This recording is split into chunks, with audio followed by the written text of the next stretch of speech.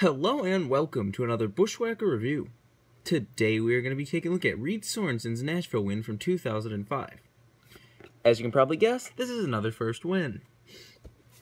So let's take a quick look at the box as usual. Got Action Collectibles, 124 scale stock car.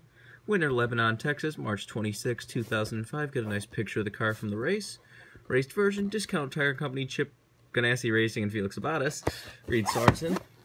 Another picture of him doing a burnout. Basically the same stuff, same stuff, same stuff. Made a total of 3,036 of these things. 2005, copyright and such on the bottom. Let's get down to the car itself, and this is a fantastic looking race one right here. This is a discount tire car, as you see, that's but they're advertising coats, which um, discount tire really doesn't advertise anything else if you've noticed anymore. Beyond the America's tires, instead of discount tires on the hood for like one race. They really don't change anything. You can see just the amount of dirt and grime that's on this car right there. Very nice looking raced one. You can see the rookie stripes.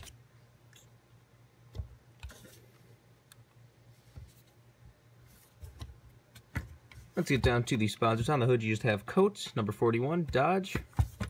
Down the side, you have Discount Tire Coats, Home 123. Down there you got Dodge Freightliner, Lincoln Welders, that K logo, and not sure what that little one is next to Freightliners and Lincoln Welders. On the C post you have FEMA Tip Top. and on the B post you have Target, Hamilton, Home 123, Bosch, Snap-on, and Dodge. This is a Busch Series car, as you can see right there. On the back you have Coats, 41, and Discount Tire, Chip Ganassi Racing, and all that again. On the deck lid, you have coats. Got the same stuff down the other side as usual. Take a look under the hood. Wants to open, see that just says coats again. There's the engine detail if you would like to see it. Take a look under the deck lid. You got your typical fuel cell and such back there. The roof flaps do in fact open. And there's the underside of the car if you would like to see it. Even the engine's gold on this one. But now let's get down to the part everyone cares about, and that's the race, damage, and other stuff.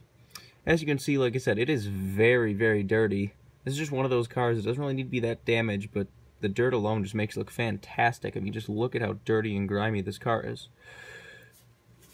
On the right side, you got a little bit more dirt and stuff. Not really anything. Got some rubber buildup around the right rear tire right there, as you can see. Nothing really on the back. Got a little more tire buildup on the left rear tier wheel well. And just a lot of dirt and grime and stuff. I do like how on the left side it's got the like red line kind of at the edge of the side skirt. That kind of looks cool. It's not on the left right side for some reason, but it didn't look like it was in the race either, so not sure why they did that. Like I said, not too much in the way of damage and stuff, but just the amount of dirt on a white car like this just makes it look fantastic. See, there's also does have the tape on the left front of the windshield, you know, to block the sunlight. But, you know, that's about it. I said, if you're really into damage, you're not going to like this car, but if you just like nice, dirty, raced cars, this is definitely one for you. This car is very easy to get. It's one of the easier first wins to get.